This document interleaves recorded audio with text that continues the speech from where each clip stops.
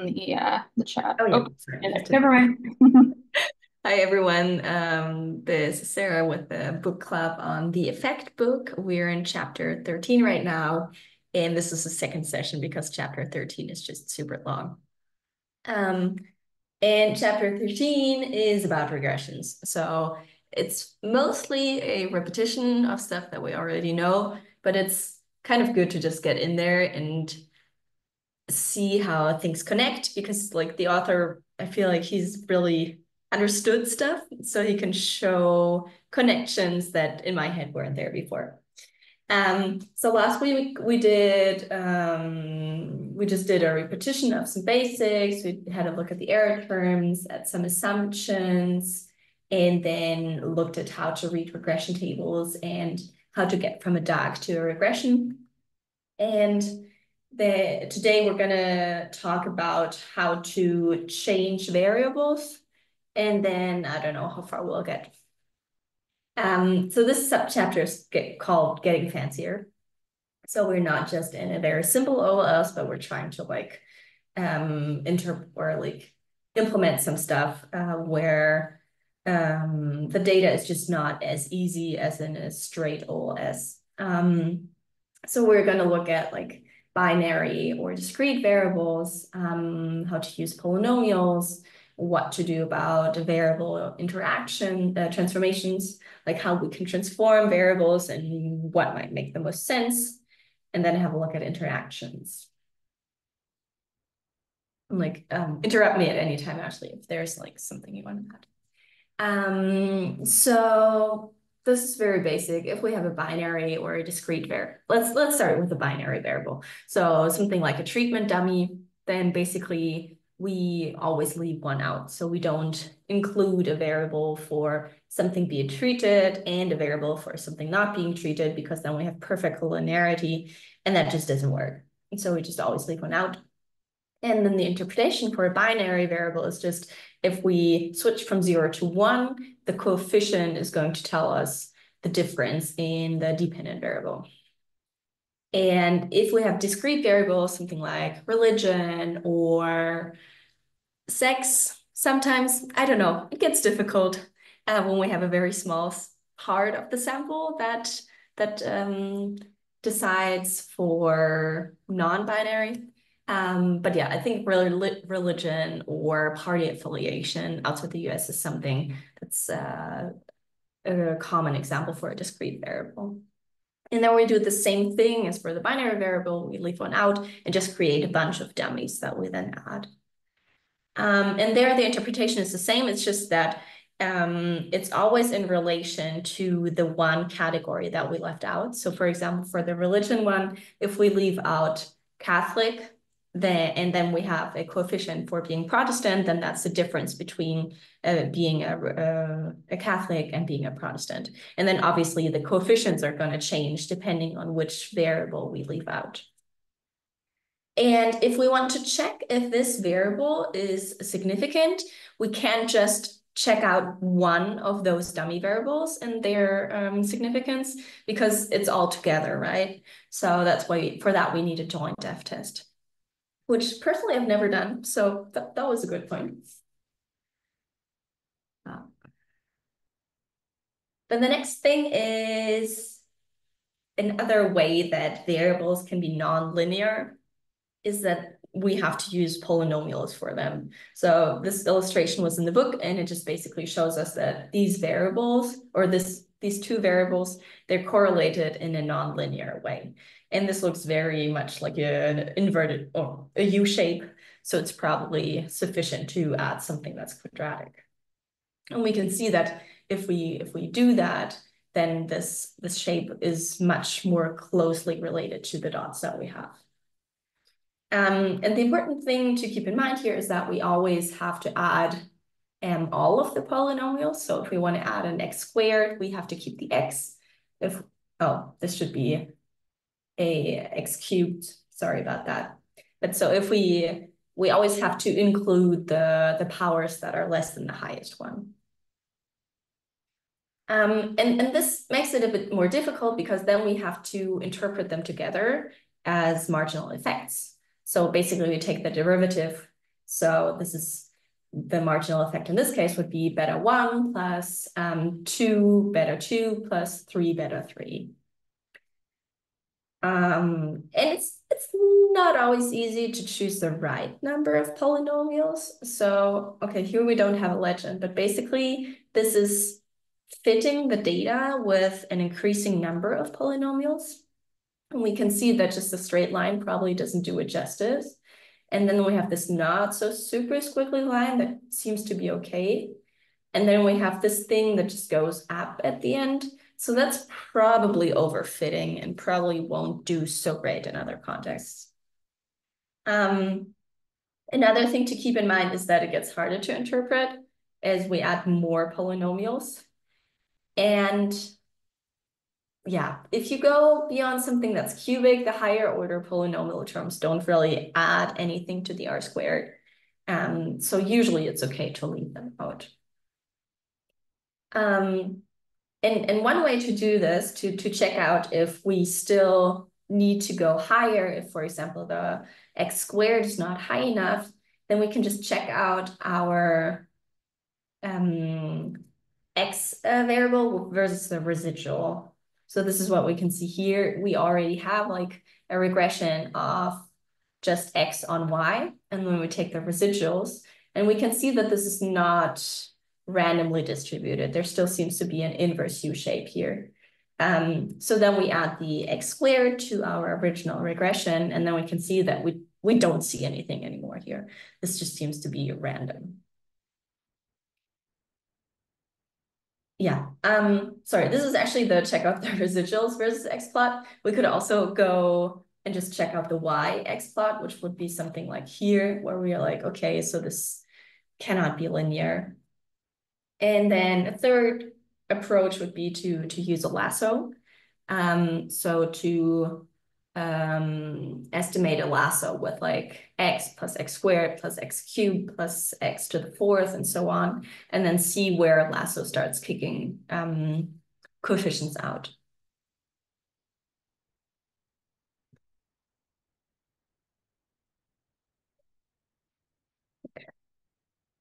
So then another way where we can think about like how how do we deal with nonlinearity um, is to transform the original variables that we have. Um, so is two times one. Okay, anyway. Um, sometimes our variables are super skewed, for example, and that just makes things difficult because some assumptions are not really met that we kind of wanted. Um, yeah, or we just don't have a linear relationship between variables. So for example, um, something like this, where um, we just have something that's mul multiplied. And if we then take the logarithm of that, we, we suddenly get back into the li linear world, which is just easy, or that's the only way we can actually estimate this with, with OLS. Um, yeah, so those are the two reasons. Either we want our variable to behave nicely, or we think that the relationship is nonlinear and we want to get it back to being linear.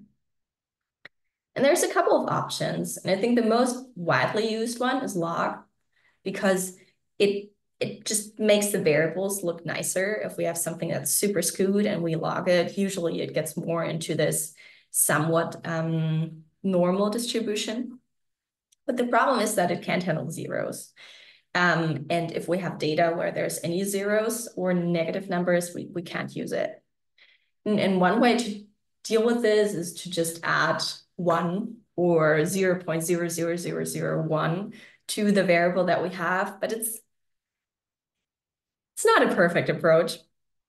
Um, another way is to use the square root because that can handle zeros but it doesn't do the same thing as adding um, as, as using a log does because the data are still very much spread out, whereas the log just squishes it more together.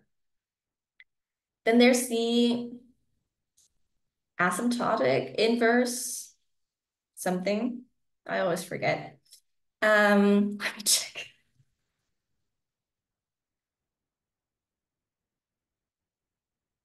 Inverse hyperbolic sine transformation. Um, and it's very similar to the log, just that it looks different. It does different stuff. Um, but it, it plays very nicely with zeros. Um, we can still interpret it easily enough. So like it's very closely related to how we interpret a log. So if it's like in in small changes, we can kind of interpret it as uh, percentages. So, I mean, I'm not saying that the author really recommended anything, but I think this is the closest to a recommendation that he gives. Then another option that's widely used in, in finance is Winsorizing. So basically we just cut off extremes. So we go to the top 5% and we're like, yeah, no, this is too high. We're going to give this the value of the, the next lowest um, observation. So we go from 1 to 5% and we give that the 6th percentile value.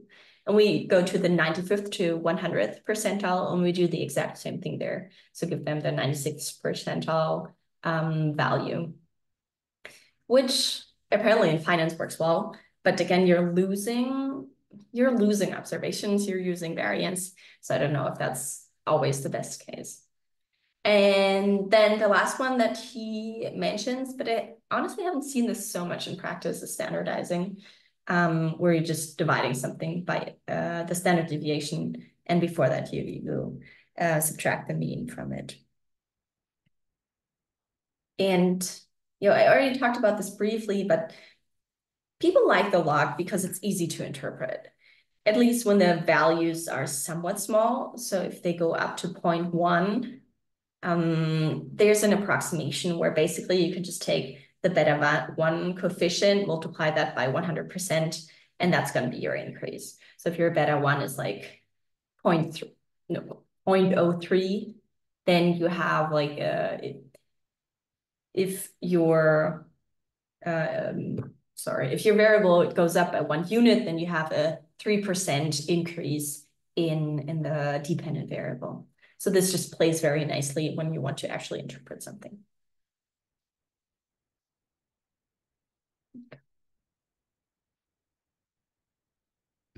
Then the next thing that the author talks about is interaction terms. So up until here, we we looked at stuff where the variable itself has a nonlinear relationship with the dependent variable. So just one variable. And like we have those polynomials where we add another variable, but it's just like the same variable, but squared or cubed or whatever. Um, but in some in some cases, it makes sense to interact two uh, independent variables. Um, for example, if we think about how the weather um, affects whether people go outside on the weekends, and we want to uh, include something like the temperature and whether it rains, um, it might make sense to actually interact those because um, people might be more likely to go outside when it snows, but they might not be so likely to go outside when it rains and it's just icky outside. Um, so if we do an interaction term, we should always include both terms. It's kind of the same as with the polynomials. Um, and I, I knew that, but it was just very useful to, to read why we should be doing this. Because if we don't include it, the coefficient that of our uh, interaction term, it accounts not only for the interaction between the two, but it also includes the direct effect of both of them, which is not what we want to have. So especially if we're mostly interested in x and x times z, but not so much z, then we don't have the estimate that we actually want to have. Mm. So this is just an example of an interaction regression thing. Um, this is restaurants and they get health inspections in the US. Um, and they can be chains, which is why there's this uh, variable number of locations. Uh, the weekend variable says when the inspection is going to be. Um, then we and then we have the year of inspection, and that's that's it. Um, so here we can see that uh, we added an interaction for the number of locations times the year of inspection. So maybe there's just something going on because chains are growing or something like that. Um, and we can also see that this is significant. Don't really know. Yeah, you'd have to interpret that as a marginal effect in combination with the number of locations, which is negative before. Yeah, not sure. Um, and then there's just a random interaction where we're like, okay, maybe it makes a difference if it's a large chain and then it's um, checked out on the weekend and there's not a significant correlation there. Okay.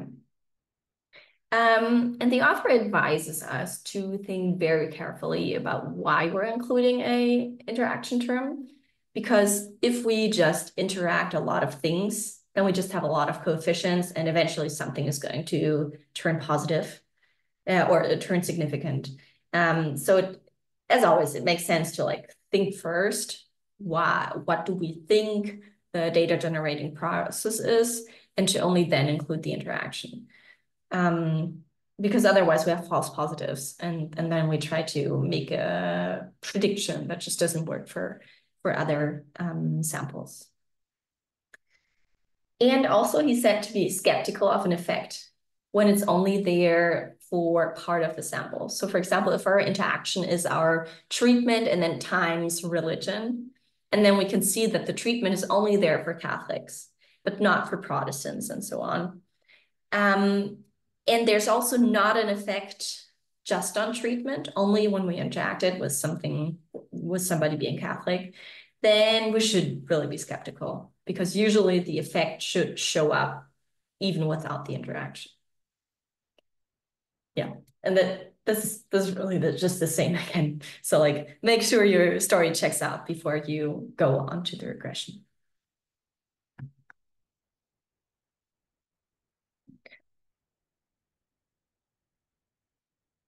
So this was all about like transforming variables. Now we're going on to changing the whole way that we um, that we model something.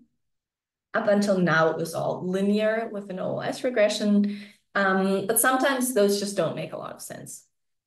Um, so we can see an example here where we have a binary dependent variable y, and this um, dashed line is the OLS prediction, and the other one is a nonlinear regression of logit. And we can see two things here. One is that the range of the OLS prediction is just wrong because we can get stuff that's below zero and stuff that's above one. So that's just an issue because the y doesn't go below zero or above one. And the other one is that the slope is just wrong. So it doesn't it doesn't change ever. Whereas in some cases, it makes sense that it should change at some point of time.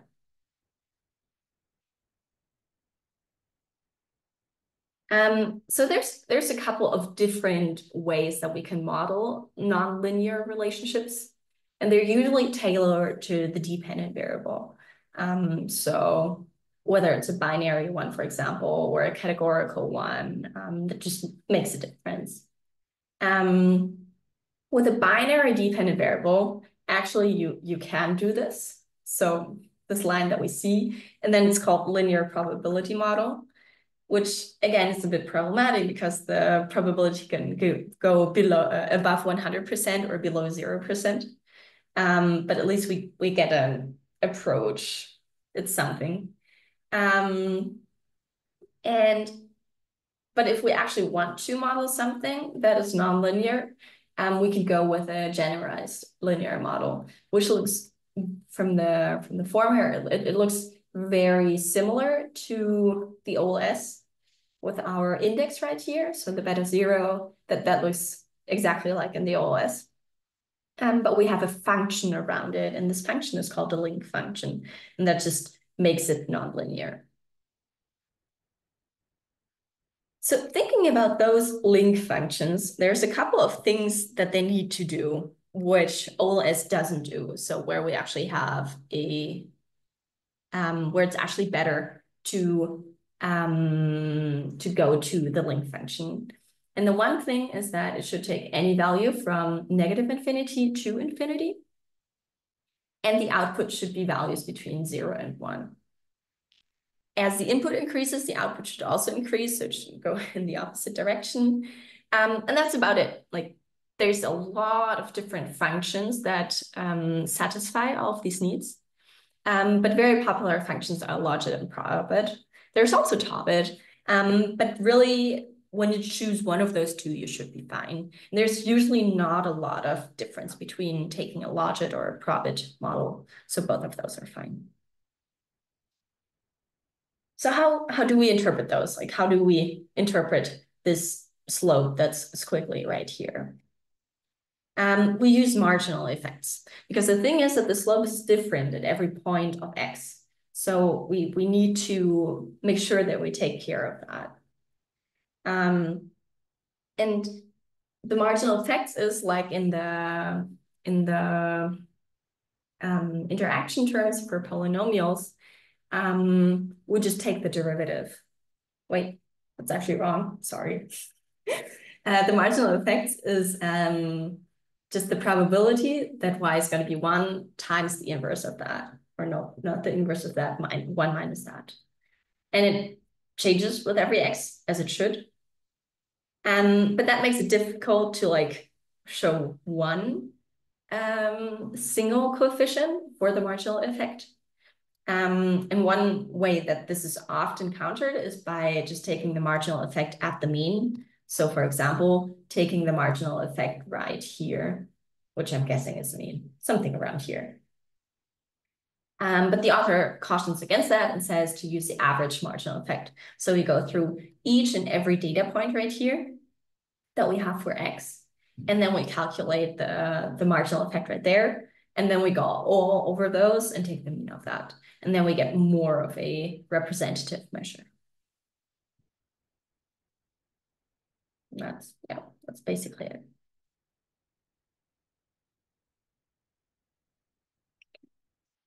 Next up is standard errors and how we can mess them up and how we can deal with messing them up because there's a lot of different ways for both of those, like both for them up and like not meeting one of the assumptions and for dealing with them. And this is just part of it and the most often things, but there's obviously a lot more than that. Um, the, the problem with standard errors that are not how we think they should be is that they change the sampling distribution. So the mean is swingier, so it just goes around more than we think it would, and the standard deviation is larger. And that directly affects whether we think something is significant or not.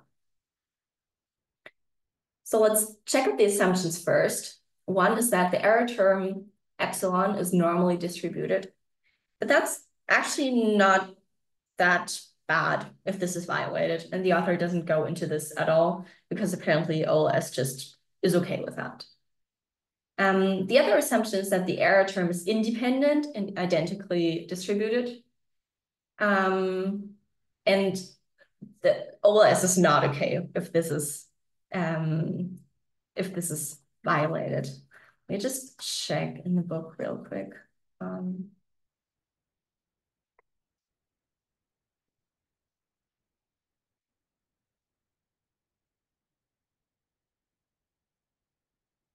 Um, so I just pulled this up because I always get a bit confused on this. So for the error term being independent, that means that it's unrelated to the error terms of other observations.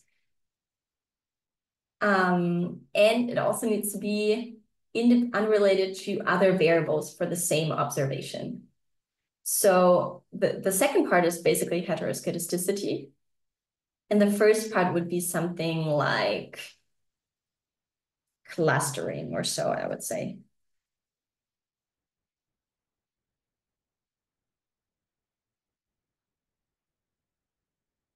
So another way in which this um, this IID assumption can be um, violated if we have autocorrelation we have that in, in finance a lot. I think, uh, no, don't have it here. Um, this would be temporal autocorrelation, right? When um, the, the value from yesterday is a good predictor for the value of today, then we just have temporal correlation, autocorrelation that just makes it a lot easier to work with. Um, we can also have spatial autocorrelation. So if one county being next to the other um, means that both of those are heavily correlated. Um, and we can take care of that. Another issue is heteroscedasticity, which is probably everybody's, every statistician's favorite word because it sounds so fancy and it takes so long to practice how to actually pronounce it. Um, let me check if I have a photo of this. Yeah. Um, so it's just basically that the error term or this the, the variance of the error term becomes larger.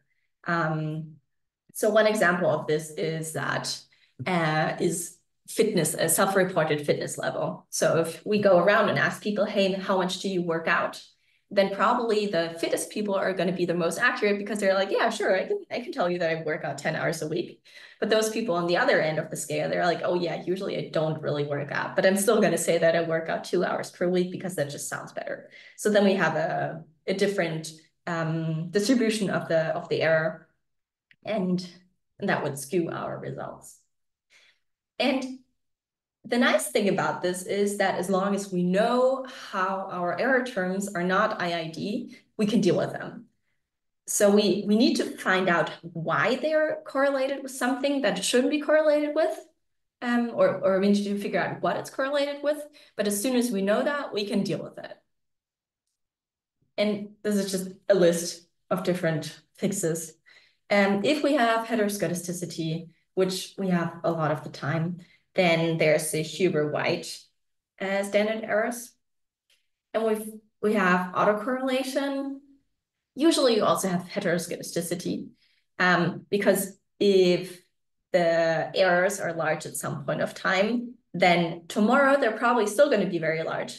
And the day after that, they're still going to be very large. But at some point of time, they're going to be small again. And then the day after that, they're going to be small again and again and again. And so we, again, have heteroscedasticity. It's just kind of implied with autocorrelation. So there's the, I don't really know how to pronounce it. I think I always pronounce it HAC standard errors. Um, but it stands for heteroscedasticity and autocorrelation standard errors. And I think the most common one is new US standard errors. Then we have geographic correlation. We can just use Conley spatial standard errors. Um, if we have a hierarchical structure, so say, I think in the book you talked about distributing laptops um, to schools and then deciding or, or the treatment level is a classroom. So classroom A gets the, the laptops and classroom B does not get the standard errors, uh, get the standard errors, get the laptop. And then it makes sense to cluster on that level. Um, and those are called clustered standard errors, where we take into account that the treatment level is just at a specific level. And apparently the most common ones are Liang-Zeger standard errors. And the, the problem with clustering and this hierarchical structure is that you really need to know where you want to cluster, because if you go too high, doesn't make sense anymore. If you go too low, also doesn't really make a lot of sense.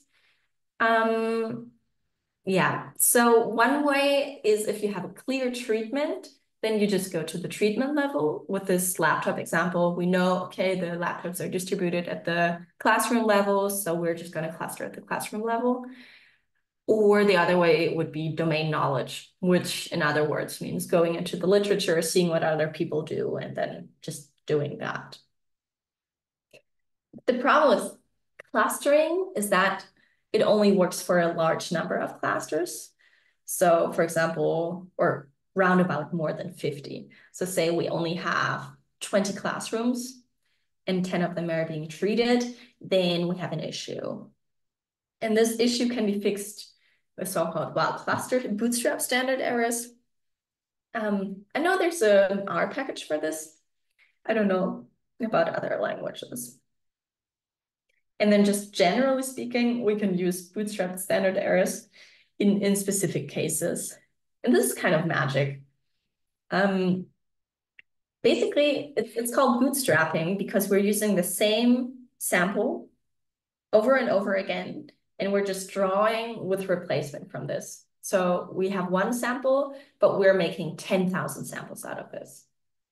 Um, and then with each of these samples, we estimate the statistic that we want. Usually that's our um, coefficient standard error. Repeat that, and then we look at the distribution of the estimate. So I think in some earlier chapter, we looked at the uh, drawing a lot of means, and then that becomes some sort of distribution, and we can do this exact same thing right here. Um, and the nice thing about bootstrapping is that we can use it for standard errors, sure, but we can also use it for any other statistic that we want to. The problem though is that we need large samples um, and it doesn't work for form well with extreme value distributions. So if we look for something like rain, for example, or precipitation, where we have like some really, really stark extremes, doesn't work so well with that. And it also does not do well with autocorrelation. So this is nice, but it can only be used in some settings. Yes, I'm wondering if we have like clusters and autocorrelation and only small number of clusters, uh, it just gets tough. Um, okay. Do you, is there, is there anything you would want to add to standard errors? No, I think you covered it very well. But yeah, when you have like clustering, few clusters, and autocorrelation, it does get tricky. Yeah. Have you have you dealt with that before? Um, not with like linear models, but yes, basically every all the data that I work with is like that. Um, because I work with um, growth modeling of different individual, like I'll, I'll have a whole bunch of individuals of a species, for example. And so like the clustering will be uh, at the individual level because I have longitudinal data. Um, then it'll be at the sex level because usually males are different from females in their growth pattern. Um, and then depending on the granularity of the data that I have, it could be at like the population level and all of that stuff. And then of course everything is autocorrelated because um, it's growth. How much you how much you weigh at t plus one is is always related to how much you weigh at t. So. So do you sometimes also just use the change or something like that? I know that in in econ they do that. Uh, no, I mean normally I just use like um like mixed effects, nonlinear mm -hmm. regression. Um, I mean part part of why I wanted to read this book is to try to think of like alternative ways to deal with those data, but the standard is just like mixed effects, nonlinear regression. Um, um, yeah, I don't know. I don't have anything helpful. Just like, unfortunately. I think it's still helpful. I just need to get my charger real quick. Um, yeah. Here.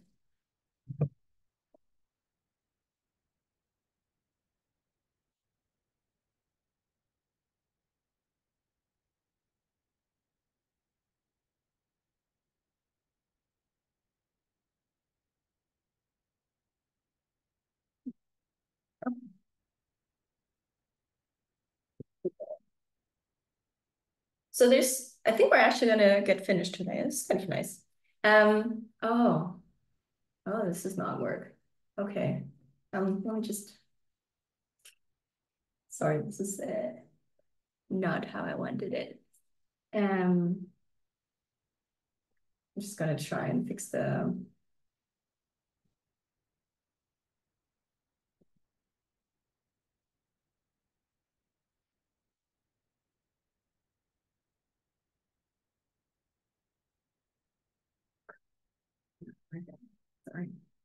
Um,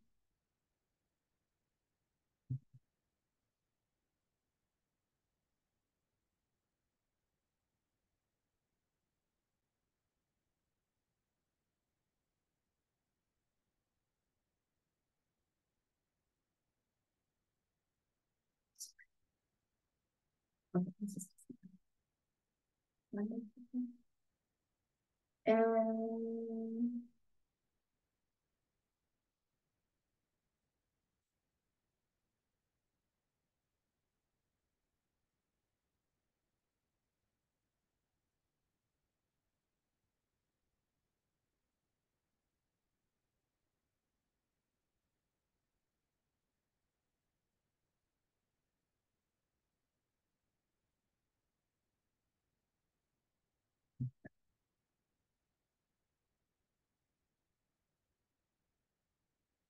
Okay, it's better. Okay.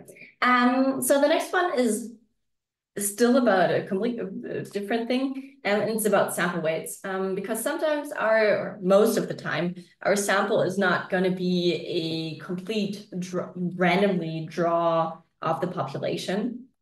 And there's there's two cases. One case is where we have these really cool surveys where the people who made these surveys know about that and they add weights that we can just use.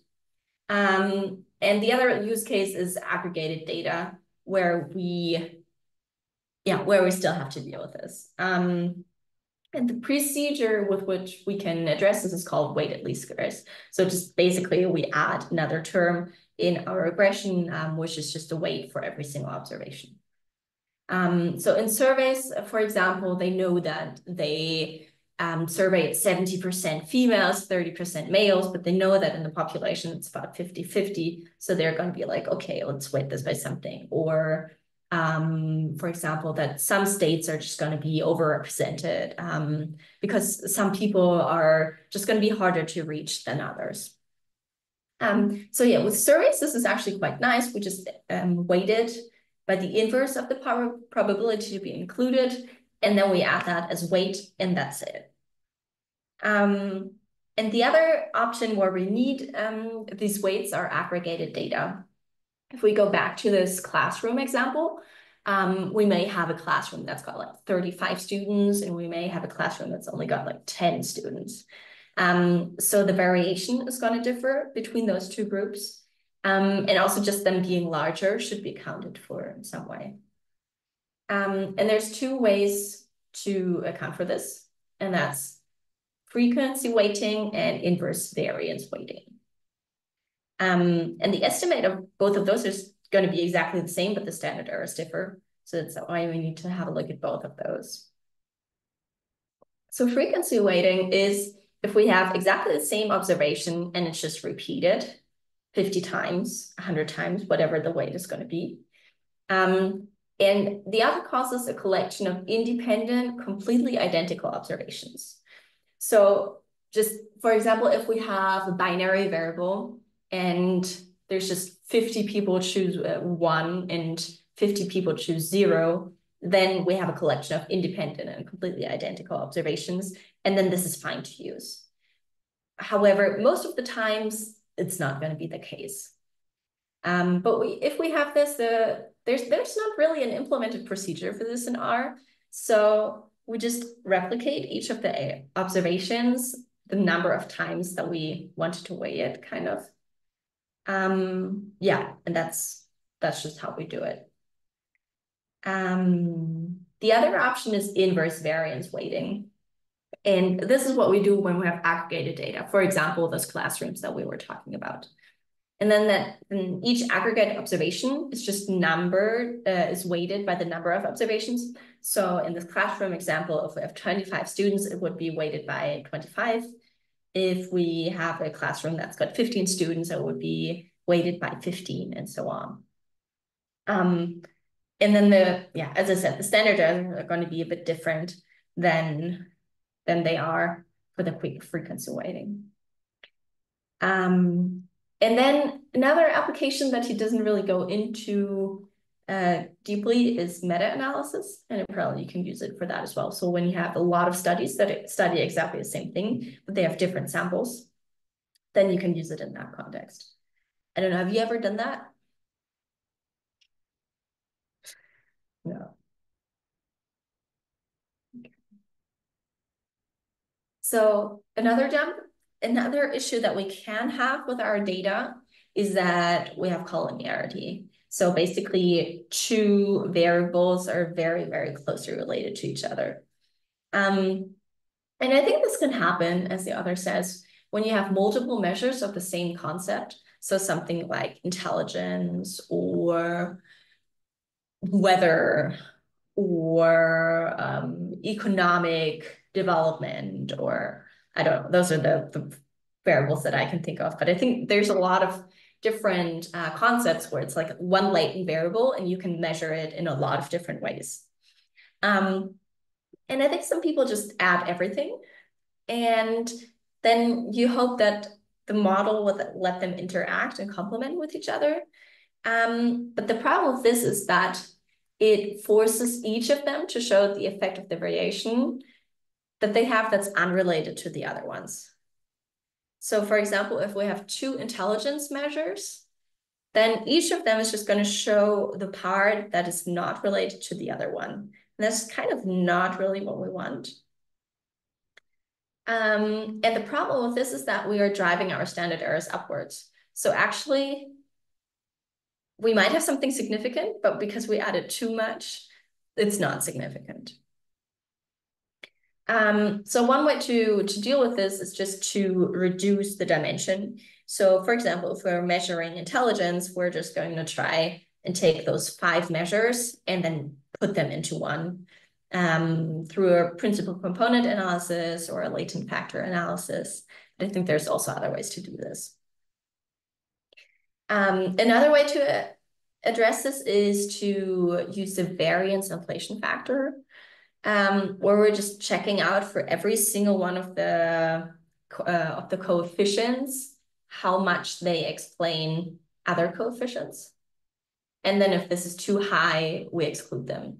So there's a rule of thumb where this should be larger than 10 or larger than 5. But yeah, I think there's room for speculation and room for like say, trying both of them. Um, and I think another way to to address this is lasso.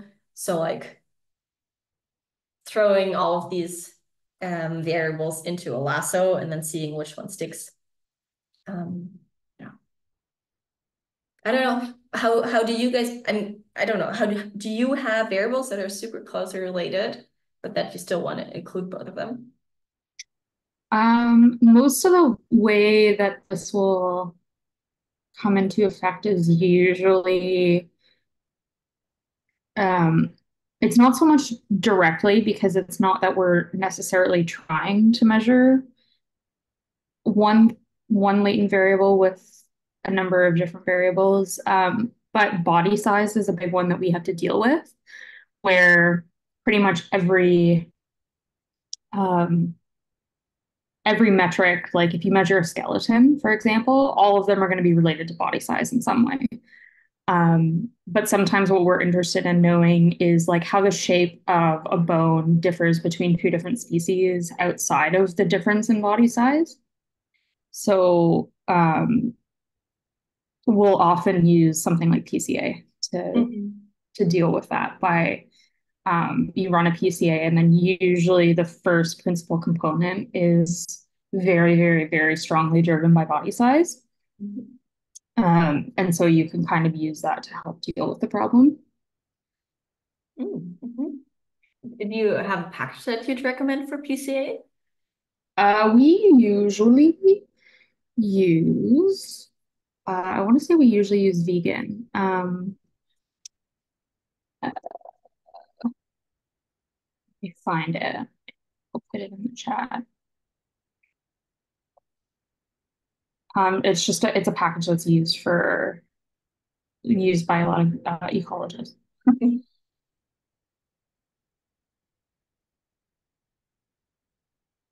yeah, because I, I actually have an analysis right now where I'm trying to measure the weather and mm or good weather as it's perceived by people, which is not so easy to measure. So right now I just put in all of the variables that I could find, like rainfall and sunshine and stuff like that.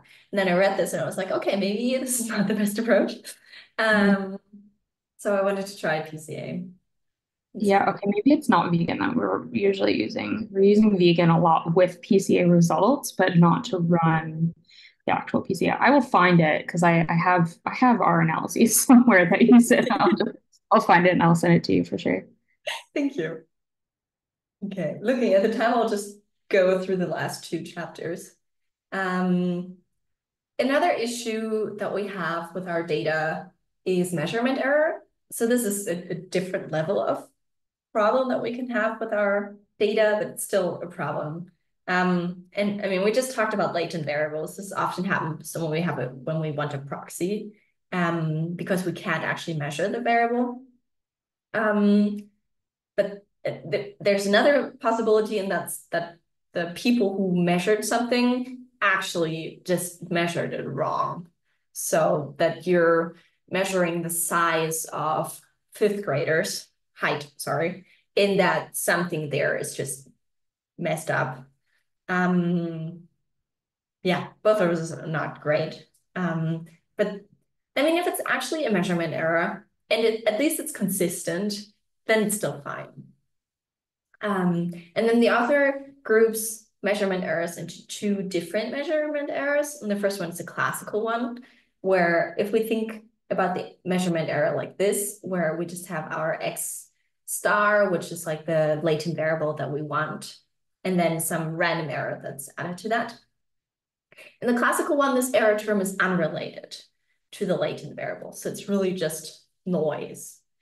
Um, and this leads to so-called attenuation, so that our um, coefficient that we are measuring, it seems to be closer to zero than it should be. Um, and this is not really a problem because then we can say, oh, this is just a lower bound, but we still found something significant. Um, so we should be good. Um, and if it's in the dependent variable, this measurement error, that's actually not a problem um, because it's just more stuff in the error term of our of our OLS or whichever regression model we're trying to use. The real problem shows up when we have a non-classical measurement error, and that means that the error term is related to the latent variable. Um, and here again, we have the self-reported exercising. Um, so that there's just more measurement error going on there. Um, and the author doesn't really address, uh, go into how to address this. He just puts up a couple of um, a couple of things that you can put into Google and then check them out. Um, but one thing that I found interesting is that you can use instrumental variables in this case, but like not in a causal way, but to use one measurement as an instrument for another. So for example, if we have two thermometers in one big house, um, and they both measure something different, um, then we can use one of those thermometer measures to um, instrument the other thermometer measure and then use that um, to, to try and get rid of the um, error. Yeah. Ah, just a thank you. It's gonna be interesting. Um, yeah, do, do you have anything to add? Do you, what, what do you guys do about measurement errors? I mean, you actually have like stuff that you do measure, right? Yeah. Um, honestly, it's probably not dealt with as much as it should be. Um, hope it's not really there. Uh, but uh, I mean, a lot of the time we'll check like inter-observer measurement error, especially if you have multiple people on a project. Mm-hmm. Um, I mean, the nice thing about uh, a lot of our measurements is that usually we'll like, you know, you'll be using calipers, which are, you know, have have been tested for their um, accuracy and things like that. Mm-hmm. But um, it's definitely a big problem that is uh, probably not dealt with enough. um, something that I'm interested in exploring a little bit, but haven't really done. Yeah, I get it. And also, like, I mean, half of this chapter is basically, oh, don't worry about it. Like, it might yeah. be a problem, but let's just interpret it as not being a problem. Um, but yeah, I think a lot of times this is not really addressed. You just hope that it goes away. Yeah.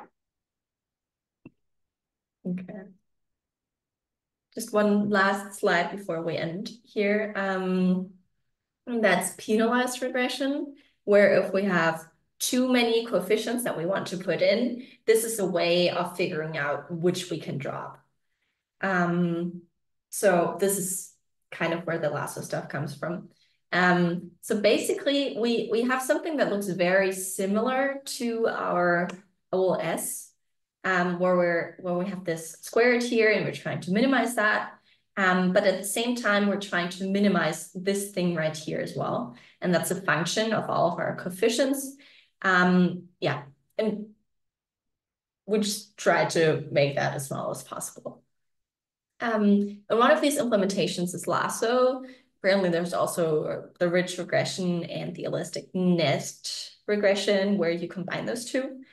Um, and then the way you go about this is you do the lasso thing, and then we go back to our causal stuff, right? So we throw out the variables that lasso things that are unimportant, but we still keep them if they close the back door. So even if lasso is like, yeah, no, you don't use this. Um, if in a DAG it makes sense, we still keep them. Um, and then we just run our usual regression. Um, there's two things that we should look out for. We have to standardize all the variables because Lasso just takes them in their absolute values, where in a regression, that's not that's not really a problem. We just interpret it differently. So if it's in meters or in a kilometer, we just interpret the coefficient differently. But for Lasso, the absolute values are actually important. Um, and then Lasso tries this thing with a lot of different lambdas. So we can choose them how we want them. And usually the, the functions where we just run these Lasso uh, things, they um, give out the lambda with the best prediction. But sometimes that's not really what you want because the higher this lambda gets, the more it tosses out variables. And that's kind of the whole point why we're doing this. So maybe the best lambda in terms of predictions is not going to be the best lambda to decide which variables we don't need. Yeah. I don't know. Have you have you worked with ridge regressions? No. no, I have not. I haven't really worked with any of these. Yeah. Um, because a lot of the time um, I'm working with um, basically I'm working with data sets where um, I'm the models that I'm trying to use, I'm trying to reduce the number, I'm trying to reduce the number of um, parameters that need to be estimated because of the sample size of the data, but like without losing information. So usually what I do is I basically run the same model multiple different times with um, one of the parameters, which is like a pretty often often just used as a constant. I run multiple iterations with like different constant values for that, and then use something like AIC to just select from those. So I haven't really had to do much of this where you are actually sort of um, like testing the inclusion of different variables. Yeah. I feel like this is also somewhat new because it's more, I mean, it comes from machine learning and that's only gotten big in the last couple of years. So I feel like it's gonna still take a bit to jingle into other um, fields. Yeah, maybe just good to know about. Okay, we're at 59, so I'm gonna hit end.